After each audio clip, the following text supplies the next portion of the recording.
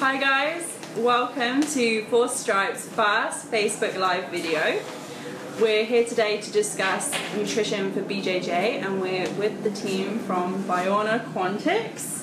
So we have Dr. Justin Gregory, nutritionist, Miles Price, we've got Beastie right next to me. yeah. uh, my name's Amelia. I'll be asking the questions that you'll want to know today.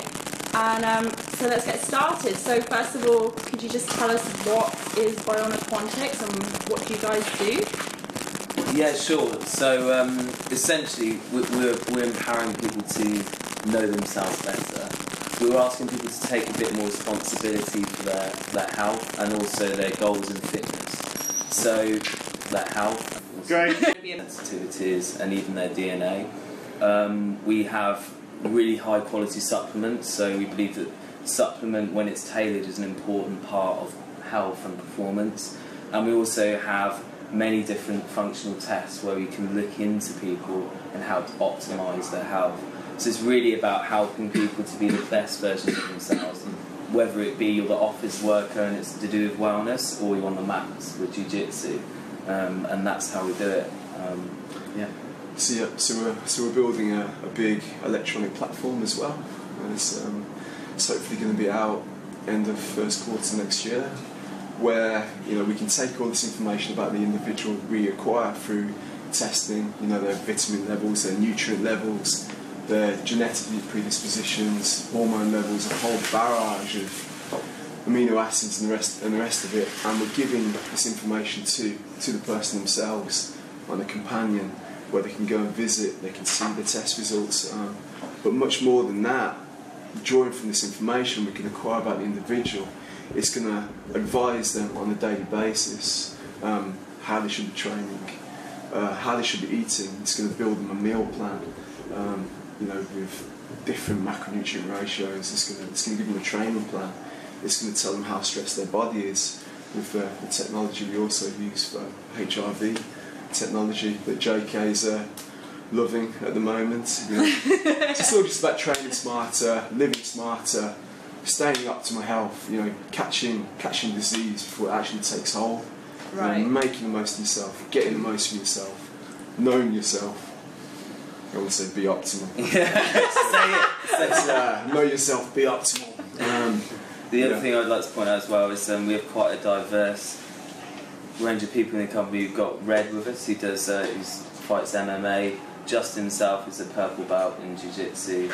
I'm a purple belt under Nick Brooks, uh, Mill Hill. Uh, so yeah, Present. I've done rather a lot of judo as well. Yeah. uh, myself and Beastie. So Um, yeah. and Miles obviously has a, a very big, you know, a large amount of knowledge when it comes to nutrition, wellness, and the health side. So we're trying to cover all those bases. Okay, well, welcome. Good to have you guys. So let's move on to the first question. So, um, what should uh, the general BJJ practitioner be eating for recovery? Right. Um, you know, I was with JK yesterday. We were having a coffee, and he was smashing French toast with maple syrup and bananas. Is that is that something that's okay, or should we be paying more attention? Well, that, that wouldn't be my first choice of a recovery uh, meal, to be honest. Um, I think that the elements of recovery have to be uh, thought about in a much more sort of scientific way. And I'd, I'd like to think when you've finished a, a bout um, of uh, of uh, BJJ, you need to support the muscles to recover. The muscles need to recover and repair, so that requires protein. And uh, protein combined with a little bit of fats and a little bit of carbs is actually the best recovery. Um, but protein is the first choice. Okay. Um, and to help the muscles recover, you need to be in a state of relaxed state. You need to be in a, a relaxed state. When you're still hyper from the from the fight, you may not have that ability to absorb the protein. You need to be in a relaxed state to absorb the protein, uh, and that's all related to your stress levels and so on. So Um, so it's, it's really important to be relaxed. So, because a lot of the time, um, people seem to think that they need to have a protein shake directly after they finish their training session. Is that That's that, that's advisable as well. Okay. Um, yeah. So um, and it also depends on the frequency of their fights. So if they're fighting every day, I definitely recommend that as a as a daily requirement. Um, but if it's infrequent, then you know more of a balanced meal recovery would be would be advisable. right? So, for for someone who takes jujitsu more as a hobby, Yes. perhaps they only train, you know, a couple of times a week, Yeah. compared to someone who takes it more seriously, maybe they train a couple of times a day. Yeah. That, those those people the where they need protein more often Right. because they're putting their muscles through a much more vigorous, intensive workout, and that every time you work out, there's going to be a slight muscle damage which needs repairing, Mm-hmm. and so repair requires amino acids and proteins. So that's why each time when you do that, we need to have that window of giving proteins at that time. Yeah, I mean, athletes training twice a day as well. They're they're quite special creatures. You know, there's, there's quite a difference between someone who trains six times a week, twice a day, compared with someone that trains like three or four times a week. You know, they've both really got the same sort of dietary requirements. You've got to have a good diet. You know, the protein. You know, the frequent protein going in is key. You know, protein after exercise is key because you've had a bit of a fasting state since your previous meal and you want to be eating protein frequently. That's essentially it. Yeah, You I know, actually yeah. was going to ask. Like, I always, you always hear. I know you mentioned about the post-workout window. Do you have to have Yeah. it immediately? I mean, yeah, I actually don't know the answer to that, but I've always kind of assumed that part of it, you know, there is a sort of, it's always that thing of like what's bro science and what's, Mm, you totally. know, and, Yeah. and what's, you Totally. know, is Yeah. there a window? Is there a magic window? Um, I don't think there is strictly like that. I mean, it's just more of you should be having protein frequently. You know, you've been fasting. The Yeah. time to get protein. Whether that's you know a strict window there, it's probably sensible. Have some protein. You haven't had protein for a while. You've been training. You need these building blocks to repair. You know. Um, blood's you know, and, you know, for different people as well. I mean, you, you, your question's leaning towards that. The, the whole carbohydrate thing. Do you have carbohydrate? Don't you? You know, that's very down to the individual themselves on many different levels. Um, you know, you know where, what your body composition's like, whether you train twice a day. Um, you know, whether you know your genetic makeup and the rest of it as well. You know, it would be sensible for an athlete to train six times a week, twice a day, to have a bit of carbohydrate after a workout. Um, for someone that's trying to improve their body composition, it's not 8% body fat or 17% for a woman, let's say. Um, yeah, you, you know, you can have, if, you, if you're that sort of percentage, yeah, have some, you know, aid recovery with a bit of carbohydrate. But if someone that's, you know, anything above that, you know, who's not coming up, he's not two weeks out from the competition, you know, maybe consider just having the protein. It's the protein that's important, you know, that's going to aid. As soon as you have carbohydrate, you're going to kick the body out from a state of like burning fat into burning glucose. You know, as soon as you do that, you're going to get an insulin spike. So, But I think there's a lot of confusion these days, mainly due to the fact that there's so many different diets.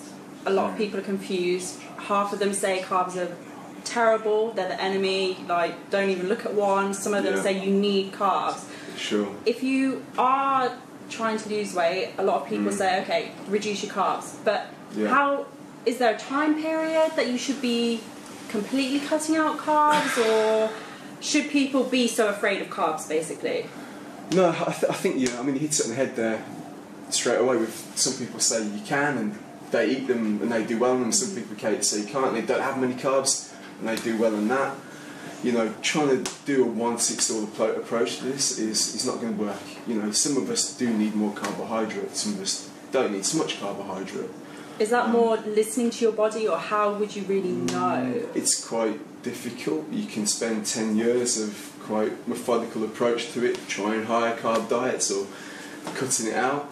Me myself, it's, you know, I've had to go through this process as a judo player, you know, I used I used to sit around like 12, 13% body fat and this sort of stuff and to experiment, you know, more fats, less carbs, blah, blah, blah, blah, blah. I mean, what I'm really saying here is, you know, there- there are toolkits out there now that you can actually look directly at this. You know, our DNA test. You know, we can have a look at particular genetic um, polymorphisms you've got, or which ones you actually do have, and it will say something about your carbohydrate metabolism. Whether Okay. you know, in essence, you know, do you store it or do you burn it straight away? Or you use it straight away? Similar sort of respecting fats as well. And Yeah. you also say something about your exercise response too. So there are there is really good solid research out there. We work with Louisiana State University, and uh, yeah, there's tools at our disposal. So there you are don't have to tests. guess, and you don't have to spend a decade anymore to do it. Okay.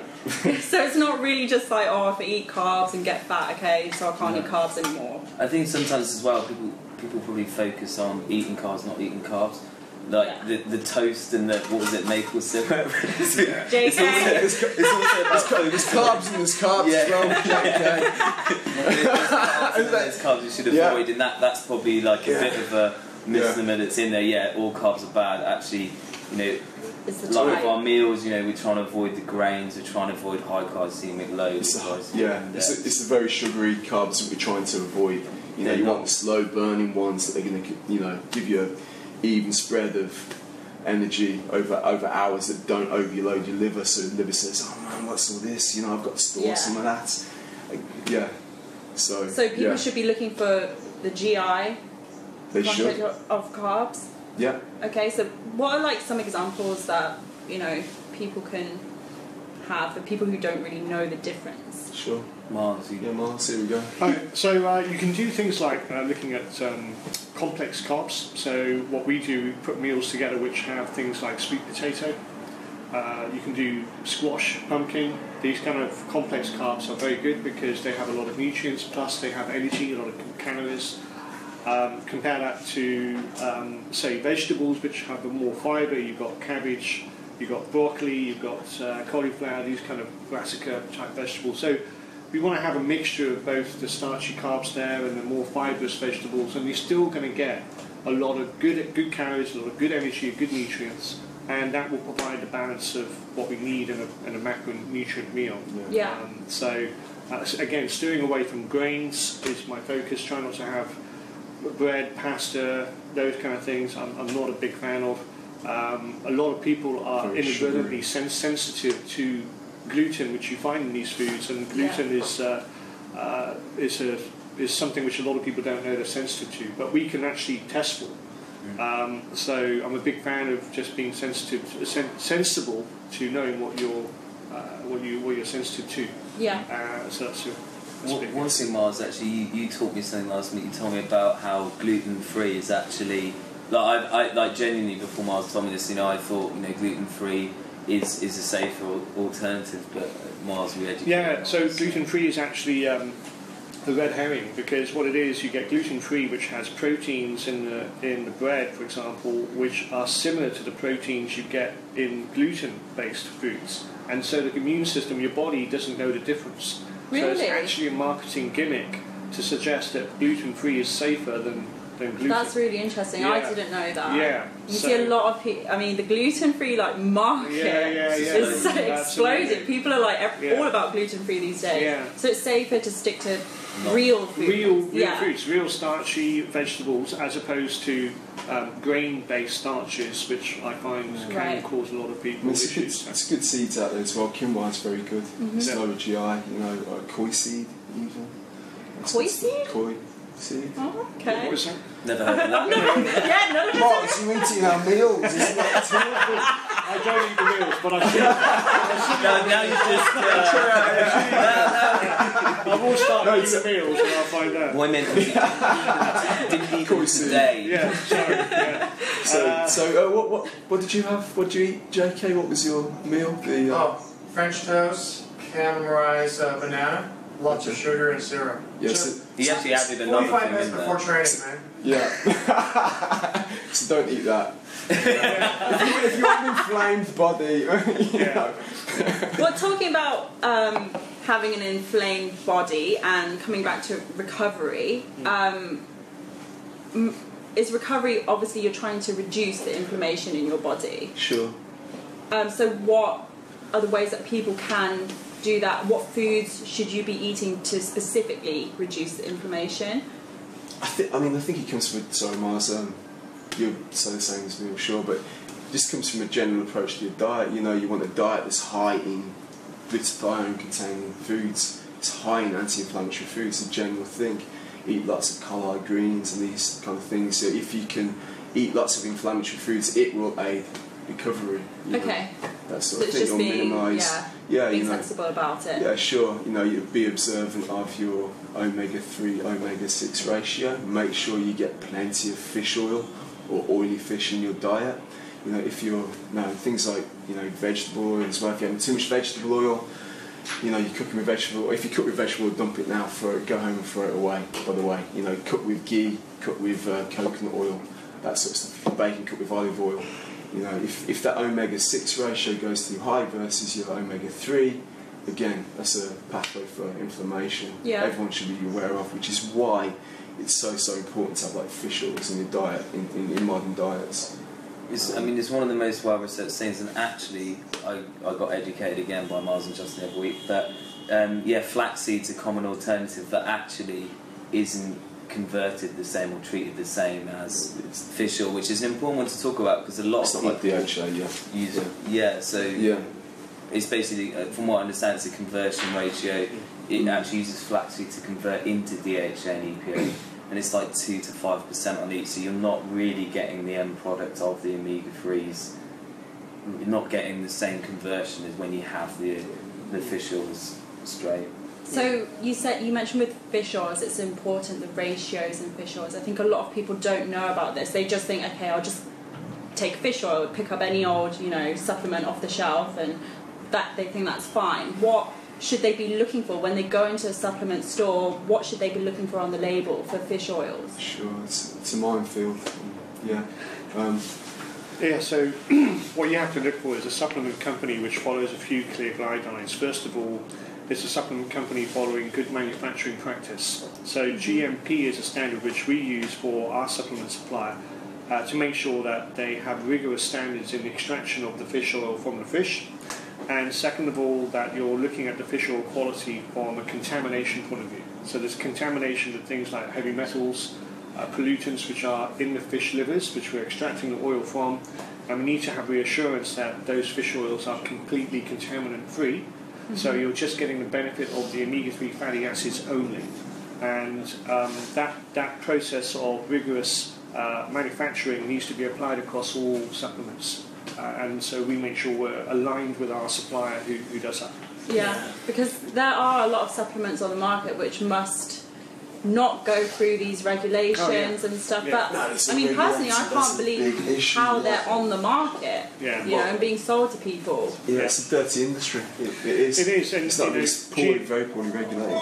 Good, good manufacturing practice is actually quite a hard um, uh, a standard to get. You have to go through very various rigorous inspections by, by various agencies to make sure you're complying with very high Is that something that costs companies? Oh, so yeah, is that sure, the- of course, one of the reasons why? It's Sure. a little bit more Companies expensive. don't- You got, you got to pay for that. You, Yeah. If they're subject, Yeah. get themselves to investigation from these international bodies or, or governmental bodies. The supplements from Canada are great. They're regulated. Supplements from the US who really drove this market. Yeah, Yeah, you don't know. It's all based on brand loyalty. Some of them subject themselves to FDA some of them don't. The vast majority don't. don't. You're going to pay more for the ones that do, obviously. Yeah. Um, that's it. You don't know what you're getting. You know, expect, you know, even the way the supplement's been handled. I mean, um, you know, with fish oils, for example, you know, you don't want oxidized LDL. If that fish oil is at any point like been heated and cooled and heated and cooled, and it's sitting in this plastic thing, you're going to get issues with like very pro- pro-inflammatory, damaging, you know, fat conversion to oxidized LDL. You don't want that. I mean, that's what you really want to avoid. You've got to be very, very careful with your fish oils. yeah. You- Yeah. you to the point where actually, if you're going to go for substandard, just don't take it. Like invest much more money in the high fish. quality, where they Yeah. have patented technologies to actually filter this thing. Because I know a lot of people, a lot of people complain like, "Oh, supplements are so expensive." They just look for the cheapest one and think it's fine, but really, they they just don't take any if you're going to do that. Yeah. Yeah. Yeah, especially in with the fish better oils. quality. Yeah, for sure. I th- I think for the way to look at it is if you're buying a car, you're always going to try to afford an Audi or Mercedes rather than a, a Skoda. Okay, it's the same philosophy you do for supplements. If you want to have the best you get the best because it is much better quality. It's going Yeah. to have much better effects on your body. The nutrients are going to be absorbed better. They're going to be utilised better, and that's going to have massive effects on your metabolism. Yeah. So it, it's thinking in, in that way will help a lot. A lot. I think the scurvy probably won't poison We have some questions uh, Let's do it. uh, from Oh, the audience. Gina, Gina wants to know: Are PACC an essential supplement? BCA. BCAA. JK. You can scroll down and then there, oh, there's a couple questions down there. I thought we should take some audience questions right now. Sure. Sure. BCAA, right? It's different, different requirements, different people. I mean, Yeah, I mean, B- BCAAs are the branched chain amino acids are great for providing the actual nutrients for muscle tissue recovery and repair. Um, I think that you get it in a standard amino acid uh, formulation. Whey protein, pea protein will always Meats. have uh, meats. Even will have branched chain amino acids anyway. Um, I I think it's all about personal choice at the end of the day. Personally, my view is to get more of a complete protein profile, um, which you can get in a powdered form or real food form. Um, some people prefer just BCAAs. There's no real justification for choosing one or the other, in my view. Um, but yeah, So as long Yeah. as you've got like a few protein sources, you're going to cover that base. Yeah. I know sometimes Miles, you talked about essential amino acids Yeah. and their role as well being slightly different. I, to be fair, I've always been confused on that one. I've always- Yeah, so your body always needs the eight or nine essential amino acids, and then you make a whole load of other amino acids on top of that, um, and that's based upon your B vitamins. So you make sure you have enough B vitamins to help in that conversion. Um, but essentially, your your main bulk of amino acids are going to come from your food, and then supplemental based upon your training, like we talked about. And I guess it depends on the level, you know, how often Yeah. you're training. Exactly, If you're yeah, rolling exactly, two times exactly. a day, Yeah, yeah, you know, if yeah. you're. You're a special creature. Yeah. You need to track, you need to track that stuff. You You need know? to, you need to double, double the visuals. You know? Exactly. Test your um, amino acids. Make sure you're all there. You know. Yeah. In case you didn't see that, There's, yeah, yeah, there's no omega three ones. Well, you're getting enough. Okay, guys, we've got another question from Olivier. Hi, Olivier. And he's asking Is it true that do I need to take carbs thir- within 30 minutes after training to replenish, replenish the glycogen stocks? So that kind of ties in what we were talking about earlier. Um, well, it, it depends again on when's the next fight. When's the next? So, are you having a recovery because the next fight's in three or four hours? Yes, you need Was to replenish your glycogen stores. Is, is, is the question about after a training session? Or Or, Yeah, so Yeah, like how, after a training how many times do session. you need to train a week? If You know, you're training what, very what's, what's, frequently- a, what's, the, So what's if Olivia's someone body was composition? training and it's their only training session for the day, Oh, that's fine. So you can just have the protein and a standard meal afterwards, and it's going to recover the glycogen so you don't need to worry about trying to get something No. in so fast? Not so fast. No, your body's going to. Obviously, you need to replenish with the with the new, um, basic electrolytes and and sort of water. That's important for recovery as well. Mm. Let's not forget the the beverage intake. But essentially, if you're eating within two or three hours, that's fine. You're going to be hungry after training anyway. Mm-hmm. You're going to grab some Something food. It's it's not. It, it, the issue is not so, not mm. so much the, the carbohydrates at that point. Yeah. Okay. I mean, it's, it's very much dependent on Olivier's goals as well. Yeah. You know, if he's training f- to improve his body composition, Body composition.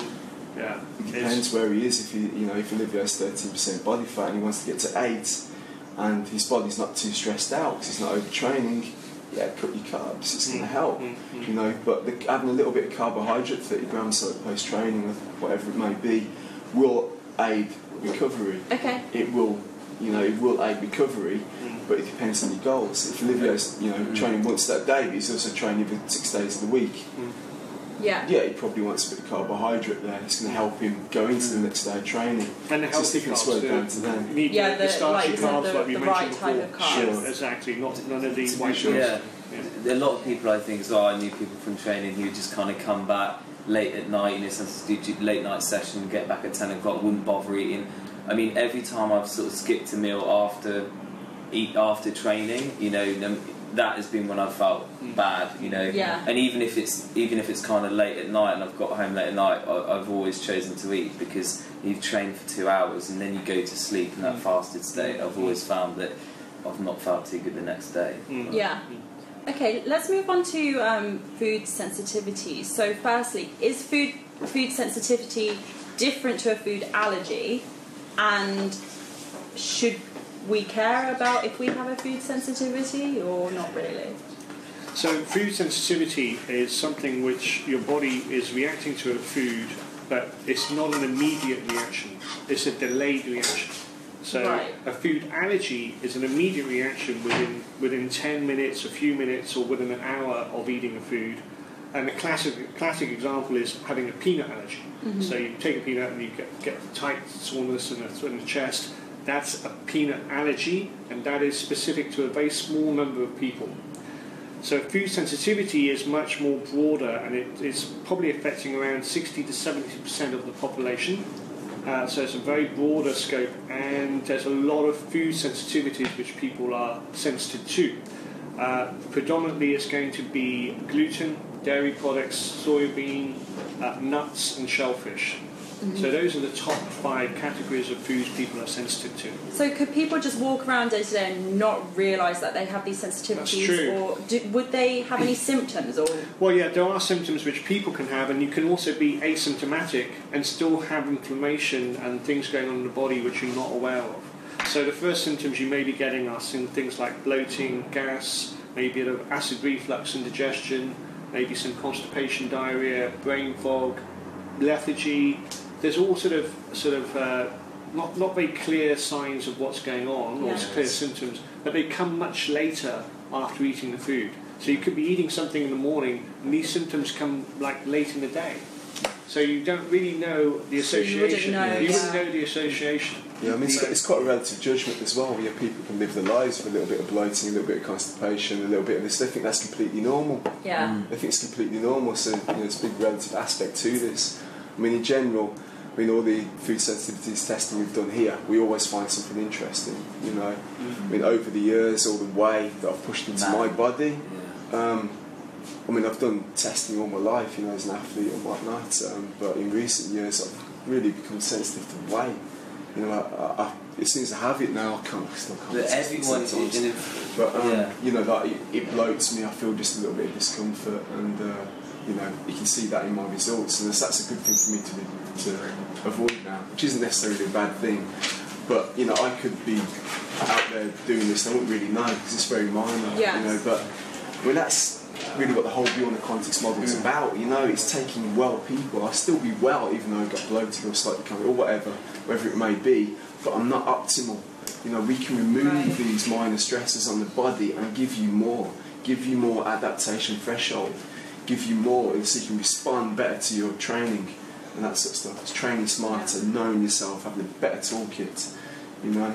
So Um, generally, you know, everyone should really get tested for their food sensitivities. It's, yeah. Yeah. I mean, testing in general, it's the future, it's coming.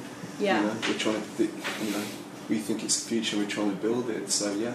Well, well, well, one thing I was going to add, that Justin, often you, you mention it about, you know, a lot of what we're doing is basically just quantifying stress. You, you know, so like Yeah. food is a recovery element. Like it's supposed to help fuel you. It's supposed to help be a good thing. Now, if you're putting in food that's causing inflammation, that's stress. You know, if you're exercising too frequently when your body can't deal with it, that's stress. If you're not having the right nutrients, that's stress. Yeah. If you've got heavy metals, that's stress. So we're trying to look at that. And to be honest, I mean, I, I personally work with a lot of the gyms um, and clinics that take on our testing service, and, and, and Miles does a lot of the training for it. And the amount of times I've seen whey on there, it's almost every time. The amount of times I've seen dairy on there, it's almost every time. Um, and eggs as well. And it's a combination of people not rotating their foods right, which we actually do for people in meals, and there's genetic components. So you may never have whey, but you could have, you could be predisposed to an allergy. I mean, why's not even that smart anyway? I don't Yeah, know why it's so dominant out there. You know, it's quite, it's quite sugar-like. Um, you know, all the leucine and whatnot's in it does. You know, you get an instant spike from having, you know, whey protein similar to having sugar. You know, So you wouldn't recommend whey. So pe- you say protein's very important, yeah, but also you Yeah. need to look at the type of You do, protein you you're do, having. and it, dep- it depends on your goals. You know, if you're one of these, you know, eight percent body fat train six days a week, yeah, have some weight. You're going to get that insulin spike. It's going to aid recovery, just like you know having carbohydrate would. You know, but if you want to improve your body composition, have an alternative. Have like pea protein or have like a, a, a beef protein. You know, grass fed very good quality one because you're not going to get the same insulin spikes. So post exercise, your body's not going to move from that, you know, glycogen depleted, fat burning state where it's actually still using your body, your metabolism is still kicked up. As soon as you put like a, you know, you have an insulin spike, it's going to move into into, into a glucose burning state. Is it you're not going to lose the fat. So is it just whey protein, or sh- are there others that you should be looking out for? Maybe not the best choices. I mean, it's dairy in general, way, way more so. So dairy There's some interesting products. studies what about soy protein? What's your opinion on that? Um, I think, I know I think a lot of men in general are like, no, oh my god, soy, I'm going to turn into a woman or something. So, it's, it's not, the, the bioavailability of the soy protein isn't as other things anyway. Um, I tend to avoid it, but I think the jury's out on whether it has like estrogenic Okay. effects.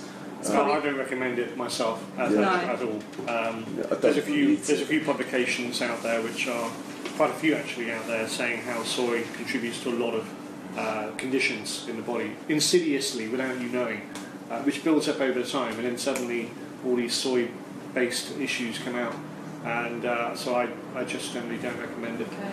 So stay away from soy. Yeah, everybody. that, I think especially in Asia, Yeah, soy is quite a big thing. it Although you did mention Mars because there's certain things like fermented soy. So fermented soy is a product, but that's a, that's a different It's a type of food. It's not for the protein. It's for the benefits of the fermented aspects of soy, which are different to uh, protein. Yeah. Okay. So um, yeah, it's uh, that's something different. Just quickly coming back to um, food allergies. So I know, again, I'm going to use JK as an example. I know he recently got um, his food sensitivity test with you guys, and he mentioned to me that he's allergic to eggs.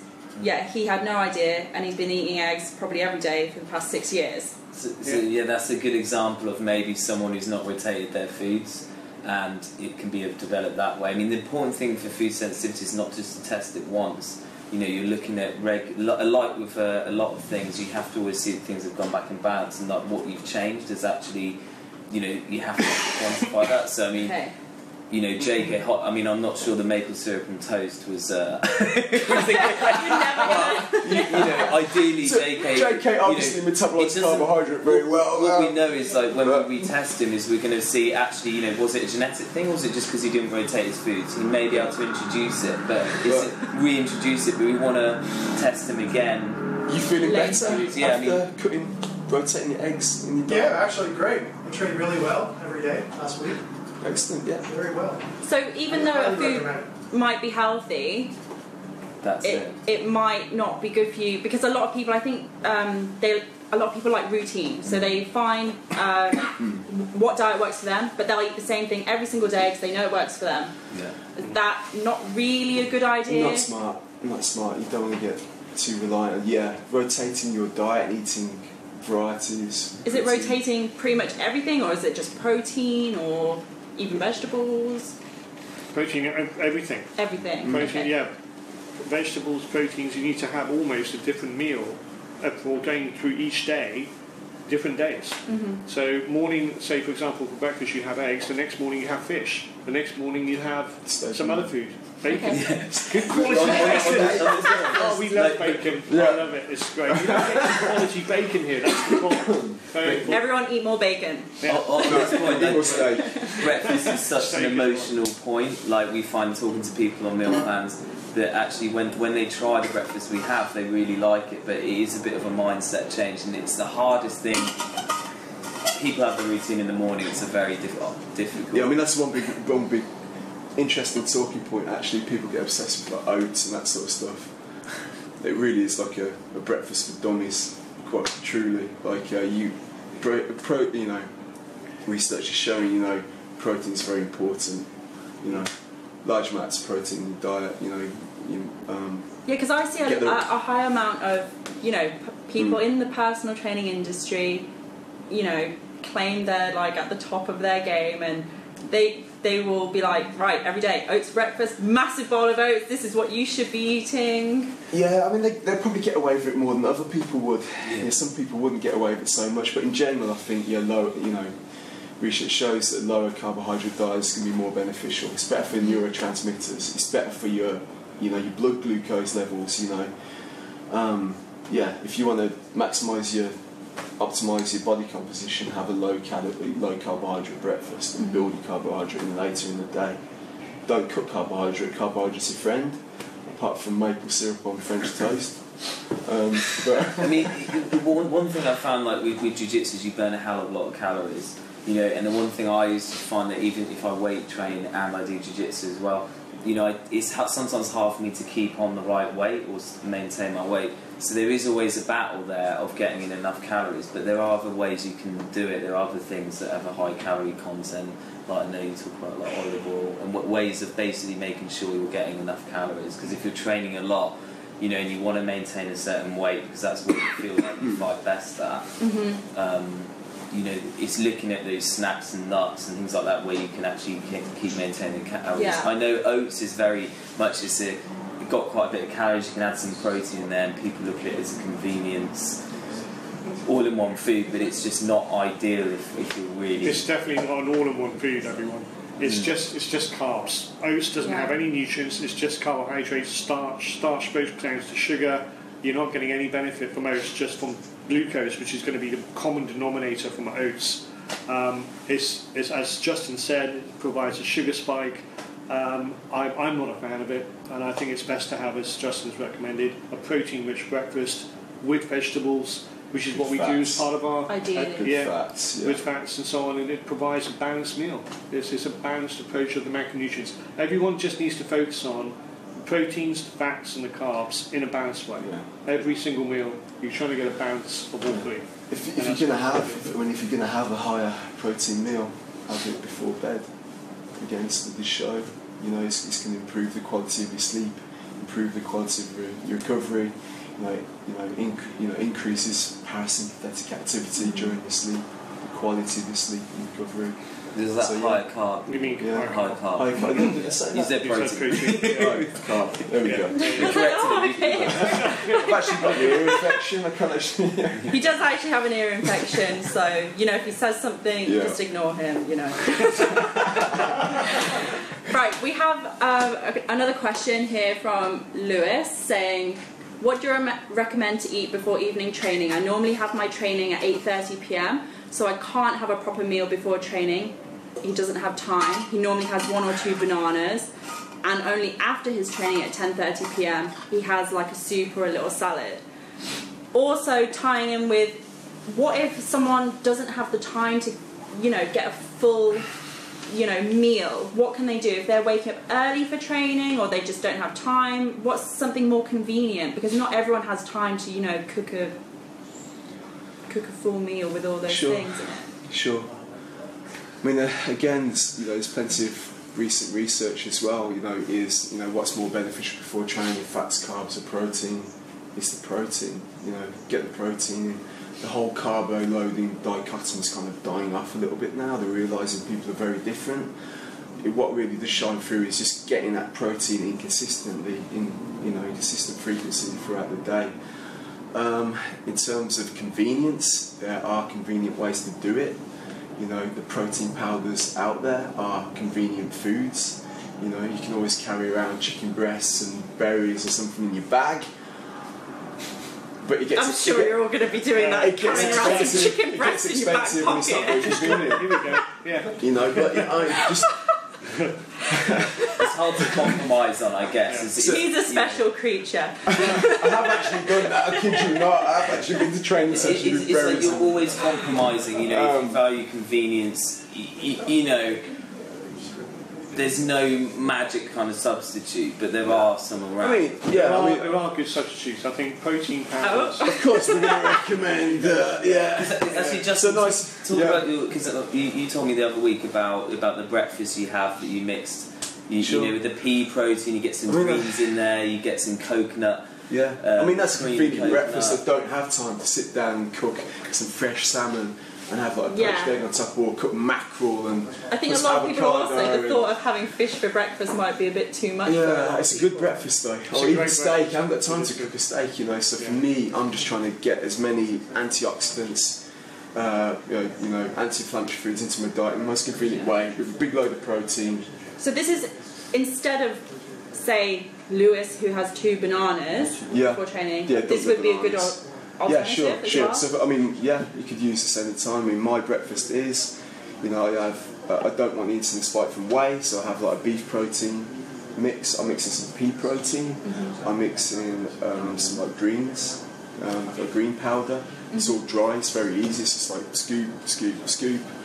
I throw in some frozen berries. I throw in some macadamia nuts. And macadamias are good in terms of like that six three omega ratio, and I put a load of coconut cream or coconut milk or something in there. You get the cacao in there. I shake it up and then I pour it into my bowl and then I'm Tastes part, part good? with a spoon and part drinking out the bowl. It does I've got, actually my, I've got, my, I've got, my I've got my two-year-old Okay. son sitting here. He's in there as well. You know, that's. I mean, it's, I can I can do breakfast in ten minutes, and it's a very very good healthy. Yeah, something breakfast. that's still yeah, so I mean that that sort of thing uh, applies. You know, if you're short on time, you're coming out of work. You know, carry a small couple of sachets of of. Uh, We're just like of, uh, blocking him out. yeah, we, um, yeah, we, we have there's ways pea- to do it. Yeah, we, we have like a pea protein. It's got a fibre in there. It's got a mineral complex in there. Even if you have that with some nuts, you know you've got you've got quite a, you know a few calories. You've got the fibre in there. It's not going to be fastly absorbed, and you're Okay. getting what you need. And it's convenient. You know, it's not. This is the thing. Sometimes I think people think like, oh, let's replace meals with shakes. You, s- people having six shakes a day. You know, they need to be eating. Yeah, it needs to be you know? rotating the No matter what, there's It's no convenient. substitute for real food. So if you have the Yeah. option, always go for real food, Sure. and a shake's kind Sure. of only if you really Sure. last resort. Sure. Oh, it's yeah, no, sure. It's, it's convenient. you We're know? not trying to, we're not trying to like, push our products, so you know, it's convenience food, but it's actually really healthy at the same time. You We're not trying to push our products. anyway because we love it. We're not, sorry. Real food, everyone. Real food. Uh, but yeah, I mean stuff like stuff like greens though that's difficult. You're gonna have to eat like two kilo of like broccoli to get like a couple of spoonfuls of that. Does that make sense? Yeah. You know, it's a broad spectrum of greens from all over the place. All sorts of polyphenols, mm. all sorts of antioxidants. Broad, yeah. So that's difficult to replace. As is the same for like fish oils in the same in a similar Yeah. respect. You know. You guys said to me something the other week that stuck me as well. Is they said kind of like you can get away with a lot more if you're having a lot of greens in your diet, and that means sort of topping it up as Yeah, a general. and for the for the guys training six days a week, you're stupid if you're not doing it. To be honest, you've got to get those antioxidants in your diet. You've got to look after those amino that amino acid profile. You've got to keep that omega three ratio up. Even your vitamin D. Vitamin D is really key as well. Really, really important. You know, my my good friend. Who's a performance coach Team GB Rowing? Man, they're testing their athletes every three days or so for vitamin D. If that drops, body composition drops, performance drops, you start gaining visceral fat, these sort of things, and it depletes with stress. You know, exercise is a stress on, on the body. Yeah. So that's really important. You know, make sure you're supplementing vitamin D, especially and that sort of thing. So obviously, there's a lot track of it, measure it. there's a lot of supplements out there. A lot of different ones good for you for different reasons. Mm. But just to simplify it for people, if you had to pick like five supplements that are the most important that people should be concentrating on, what would they be? I know it's hard to kind of you know narrow it down, but just so people aren't so confused and like not sure. People who don't want to be Sure. taking like 25 pills at every meal time. Sure. I think I've got a top five. I, I don't know what Yeah, these sure. guys, but um, for me, it's always vitamin D. Vitamin D. Uh, always a fish oil. Um, always get your electrolytes. So electrolytes are basically uh, magnesium, potassium, chloride, maybe a tiny bit of sodium. But these are the minerals which your body's losing every time you sweat. Um, now, the more you exercise, the more you're going to lose magnesium. Magnesium is essential for sleep, for blood sugar regulation, for gut health, for heart health. You need a lot of magnesium. So, electrolytes. Definitely take a probiotic. I think a lot of people are not getting enough fermented foods, and that's something which, again, is a separate discussion. But getting a lot of fermented foods for the bacteria in your gut really supports your health on a whole different level.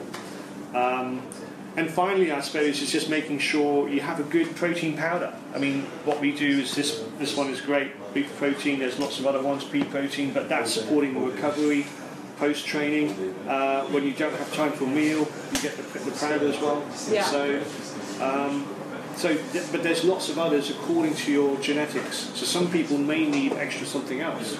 So if you have a test with us, we can tell you extra things you may need. Yeah. But those are the top five. I mean, that's, Sure. that's one of the key things. are. even omega three, man. You, you know, Justin, you take a lot of omega three, and I know, obviously, with Biorna Quantics, you know, working hard. You, you know, you, the the amount you need varies on your lifestyle. Yeah. Same with vitamin D, and like that's why it's so important to test it. So you could be supplemented and just be well underneath the mark. Yeah. Yeah. Okay. If, you- if you eat a kilo of steak every day, it's not good for your omega 3. Yeah. Um, but yeah, I mean, even with vitamin D, it's, it's a minefield. You know, yes, supplement it, but how much to supplement? You don't Yeah. want to. People are different. You know, to get the optimal range of like 60 to 80, let's say, um, that you want to see any test results. Some people are going to take 2,000 IUs. Some people are going to take 15, 20,000 IUs. You don't know. You don't want too little, and you don't want too much. If you've got too Yeah. much, you're going to have all sorts of sleep disrupt, you know, disturbances. You know, vitamin D really important for inflammation as well. Modulates inflammation. Um, so yeah, it's tricky. Test vitamin D. Test your vitamin D.